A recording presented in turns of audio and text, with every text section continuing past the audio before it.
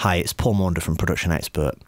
The Auto Join feature in Pro Tools allows you to resume writing automation in latch mode. This is useful when, for example, you've done an automation pass and stopped at a certain point, causing a jump in automation values, as you can see here.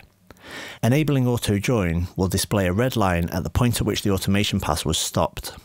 Now, if you play from any point before that with the track still in latch mode, Pro Tools will resume writing automation as soon as it hits that point.